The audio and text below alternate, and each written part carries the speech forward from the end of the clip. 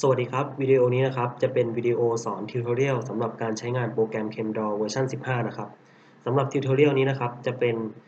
สอนวิธีการแปลงจากโครงสร้างโมเลกุลโครงสร้าง 2 มิตินะครับ ซึ่งเราวาดด้วยโปรแกรม ChemDraw นะครับ ให้ไปเป็นโครงสร้าง 3 มิตินะครับ ซึ่งจะเปิดด้วยโปรแกรม Chem 3D นะครับ และเราสามารถที่จะ save ไฟล์โครงสร้าง 3 มิตินะครับ ออกมาเป็นcoordinate หรือว่าตำแหน่งของอะตอมต่างๆนะครับ ในโมเลกุลได้อีกด้วยนะครับ มาเริ่มกันเลยนะครับ เริ่มต้นนะครับ หลังจากที่เราวาดโครงสร้าง 2 มิติของโมเลกุลที่เราต้องการที่เราต้องการจะแปลงเสร็จเรียบร้อยแล้วนะครับ ในที่นี้นะครับผมวาดไว้ 3 โมเลกุลนะครับ ก็จะมีโมเลกุลเบนซีน 2 โมเลกุลนะครับ แล้วก็จะมีโมเลกุลอันใหญ่อันด้านขวานี้อีก1โมเลกุลนะครับ หลังจากที่เราวาดเสร็จแล้วนะครับ ให้ไปเลือกที่ไอคอนตัวนี้นะครับ หรือว่าไอคอน select โมเลกุลนะครับ เริ่มต้นนะครับ ผมจะทำการเลือกโมเลกุลเบนซีนซ้ายบนก่อนนะครับ ก็คือให้คลิกซ้ายค้างไว้นะครับ แล้วก็ลากคลุมโมเลกุลที่เราต้องการ ในที่นี้ก็คือเบนซีน หลังจากเรียบร้อย หลังจากที่เราทำการเลือกเรียบร้อยแล้วนะครับ โมเลกุลเบนซีนก็จะถูกล้อมรอบด้วยกรอบสีฟ้านะครับ หลังจากนั้นนะครับทุกครั้งนะครับ อันนี้เป็นคำแนะนำนะครับ ทุกครั้งหลังจากที่เราวาดโครงสร้างเสร็จแล้วนะครับ ก่อนที่เราจะ ทำอย่างอื่นนะครับ ให้มาคลิกที่ structure นะครับ ด้านบนนะครับ ตรงเมนูตรงปุ่มคำว่า structure แล้วเลือกคำว่า check structure ก่อนนะครับ ก็จะเพื่อทำการตรวจสอบนะครับว่ามีว่าโครงสร้างของเรานะครับ ผิดหรือเปล่านะครับ อย่างเช่น อาจจะมีพันธะเกินมานะครับ หรือว่าตำแหน่ง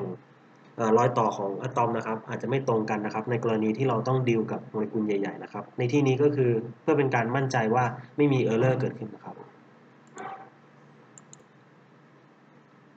โอเคครับ หลังจากเราทำการตรวจสอบ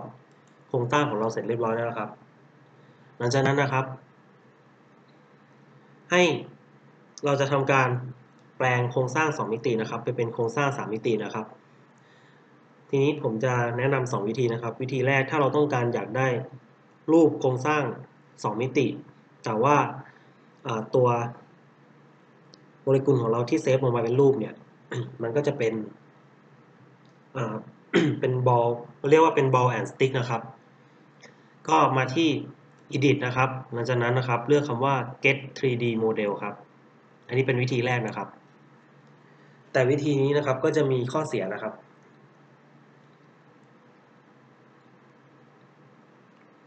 รอสักครู่นะครับ จะเห็นว่าเราจะได้ภาพโครงสร้างนะครับของโมเลกุลเบนซีนขึ้นมานะครับ จะเห็นว่ามีข้อเสียก็คือ resolution คือต่ำมากนะครับ เห็นไหมครับ ต่ำมากๆนะครับ ซึ่งวิธีนี้นะครับเราไม่ต้องการนะครับ เราจะทำการใช้วิธีอื่นนะครับ หรือไม่เราก็ต้องการที่จะเอา coordinate นะครับ ของโมเลกุลที่เรา save ออกมานะครับ แล้วไปเปิดด้วยโปรแกรมอื่นแทนนะครับอ่าอันนี้คือวิธีแรกถูกไหมครับอ่าถัดมาเป็นวิธีที่2นะครับ วิธีที่ 2 ก็คือจะเป็นการแปลง จากโครงสร้าง 2 มิตินะครับ ไปเป็นโครงสร้าง 3 มิติ ด้วยโปรแกรม 3D Structure นะครับก็ไปเลือกที่ไอคอน select เหมือนเดิมนะครับ แล้วก็เลือกที่โมเลกุลเบนซีนตัวนี้นะครับ หลังจากนั้นมาที่ Object นะครับ ขออภัยครับมาที่มาที่ View นะครับ แล้วก็พอหลังจากที่เรามาที่ View เสร็จเรียบร้อยแล้วนะครับ ให้เลือกตรงคำว่า show 3D hotlink window นะครับ หลังจากที่เราเลือกคำสั่งนี้แล้วนะครับ ตัวโปรแกรม ChemDraw นะครับ ก็จะเรียกโปรแกรม Chem 3D hotlink ขึ้นมานะครับ ก็คือเป็นหน้าต่างไว้ดูโมเลกุล 3 มิติ แบบคร่าวๆนะครับ แบบเร็วๆนะครับ ซึ่งเราสามารถที่จะไปเปิดเข้าไปยังโปรแกรม Chem 3D ต่อไปได้นะครับ เราสามารถที่จะมาเล่นกับไอตัวบ็อกซ์ที่เพิ่งที่เป็นเ ChemTD ตัวนี้ได้ด้วยนะครับ ถ้าเราคลิกซ้ายค้างไว้เนี่ย แล้วเราขยับเมาส์นะครับ ก็จะเป็นการหมุน เห็นไหมครับว่าตอนนี้เรามีโครงสร้าง 3 มิติของโมเลกุลเบนซีนแล้วอะถัดมานะครับ ถ้าเกิดว่าเราต้องการที่จะเปลี่ยนไปดูโมเลกุลอื่น เราสามารถที่จะทำได้ ก็ง่ายๆเลยครับ แค่เปลี่ยนตัวที่เราเลือกโมเลกุลนะครับ ก็คือไปเลือก ตัวอื่นแทนนะครับ แล้วโมเลกุลก็คือจะอัปเดตตามไปนะครับ ในที่นี้นะครับ มันไม่ได้แตกต่างกันนะครับ เพราะว่า 2 โมเลกุลนี้ก็คือเป็นโมเลกุลเบนซีนเหมือนกันนะครับ ถ้าผมต้องการที่จะโมเลกุลอื่นอย่างเช่น เอาตัวนี้นะครับ cyclopentene นะครับ มานะครับ เห็นไหมครับว่าพอผมเลือกปุ๊บโมเลกุลเบนซีนก็จะเปลี่ยนเป็น cyclopen cyclopentene เลยนะครับอะลองดูอีกครั้งนะครับ สมมุติสลับกัน เห็นไหมครับ เห็นความแตกต่างไหมครับ อ่า โอเค ถัดมานะครับ และทีนี้ถ้าเป็นโมเลกุลใหญ่ๆล่ะครับ ในกรณีที่เราต้องการโครงสร้าง3มิติของโมเลกุลใหญ่ ๆ นะครับ แต่เรามีโครงสร้าง 2 มิติของมัน ซึ่งเราวาดด้วยเคมดอนะครับ เราก็สามารถที่จะสร้างได้เหมือนกันนะครับ แต่ต้องมั่นใจว่าโครงสร้างของเรานะครับ ไม่มีเออร์เลอร์นะครับ ก็คือให้คุมอย่างนี้นะครับ ก็จะเห็นว่าตัว เคมทีนะครับก็สามารถที่จะเจเนเรต3มิติขึ้นมาให้ได้เหมือนกันเช่นเดียวกัน แล้วก็มีความถูกต้องค่อนข้างสูงนะครับ ตัวนี้ซึ่งเหมาะแก่การที่จะเอาไปเป็น Input สำหรับการคำนวณต่อไปได้นะครับ ถัดมานะครับ ถ้าเกิดเราต้องการที่จะเข้าไปปรับแก้หรือว่าไปแก้ไขตัวโมเลกุล หรือว่าศึกษา ต่อไปนะครับ ก็สามารถที่จะเข้าไปยังโปรแกรม Chem 3D ได้นะครับ ก็คือคลิกตรงปุ่มไอคอนล่างซ้ายนะครับ ที่เขียนว่า launch ChemTD นะครับ คลิกซ้ายลงไปหนึ่งครั้งนะครับ ตัวโปรแกรม ChemTD แบบ full option นะครับ ก็จะเปิดขึ้นมานะครับ รอสักครู่ครับ จะเห็นว่ามีโปรแกรม ChemTD ขึ้นมาแล้วนะครับ แล้วก็จะเป็นโมเลกุลที่เราได้เลือกไว้ในโปรแกรม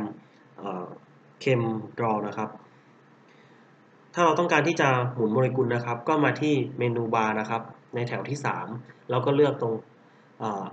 เลือกไอคอนรูปมือนะครับ ที่ขึ้นว่า translate นะครับ อันนี้ก็คือจะเป็นการย้ายตำแหน่งนะครับ แต่ถ้าเกิดต้องการที่จะหมุนนะครับ ก็คือ rotate นะครับ ก็จะเป็นพอเราเลือก rotate เราก็คลิกซ้ายค้างไว้แล้วก็จะหมุนได้อย่างอิสระนะครับ ถัดมานะครับก็จะมีในส่วนของ การ save structure นะครับให้ไปเป็น coordinate นะครับ สามารถทำได้ก็คือมาที่ไฟล์นะครับ หลังจากนั้นนะครับ save copy as นะครับ พอเราเลือก save copy as เสร็จแล้วนะครับ เราก็เลือกตำแหน่งที่จะเซฟนะครับ ในที่นี้ผมขอเลือกไว้ที่ desktop นะครับ หลังจากนั้นนะครับก็จะต้องตั้งชื่อไฟล์ที่เราจะเซฟ และที่สำคัญที่สุดก็คือเลือกชนิด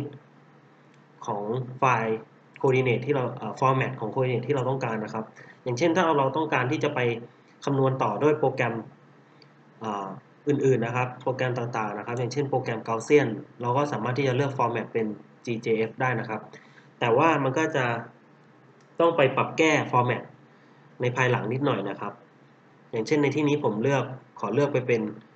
XYZ ของโปรแกรม Thinker นะครับ เลือกไปปุ๊บ แล้วผมก็เปลี่ยนชื่อนะครับ เปลี่ยนจาก ChemTD XML in ไปเป็น tutorial นะครับ underscore molecule underscore 1แล้วก็ dot xyz นะครับ xyz เราก็กด save ลงไปนะครับหนึ่งครั้ง ตัวโปรแกรมนะครับก็จะขึ้นมี pop up box เด้งขึ้นมานะครับ เตือนนะครับ เราก็ไปที่ desktop นะครับ เราจะเห็นว่ามีไฟล์ที่ชื่อว่า tutorial underscore molecule underscore 1 xyz ขึ้นมานะครับ ก็อาจจะเปิดด้วยโปรแกรม text editor อื่นๆนะครับ อย่างเช่นผมคลิกขวาแล้วผมใช้โปรแกรม notepad++ นะครับ ก็จะเห็นว่ามันจะขึ้นเป็นในส่วนของ x y z นะครับ ก็จะมีคอลัมน์นี้ก็จะเป็น coordinate ในแกน x แกน y แล้วก็แกน z นะครับ อย่างนี้เป็นต้นนะครับ แต่ว่าตรงนี้ก็คือจะเพี้ยนเพี้ยนนิดหน่อยนะครับ เราก็อาจจะเลือกมันแค่คอลัมน์นี้นะครับสามคอลัมน์นี้นะครับแล้วไปใช้ต่อได้นะครับ ก็คืออันนี้เป็นคอลัมน์ที่แสดง label ของ symbol นะครับของโมเลกุลกลับมานะครับ หรือถ้าเราต้องการ save แบบเร็วๆนะครับ สามารถทำได้ก็คือคลิกขวาที่หน้าต่าง pop-up ตรงนี้นะครับ ก็คือ save ผ่านตัวนี้ได้เลย โดยไม่ที่ไม่ต้องไปเปิดเข้าตัวโปรแกรม MTD จริง ๆ นะครับ ก็ save as ตัวนี้เราก็ save ได้เหมือนกันนะครับ อย่างนี้เป็นต้นนะครับสำหรับวิดีโอนี้นะครับ ก็จบเพียงเท่านี้นะครับ ขอบคุณมากครับ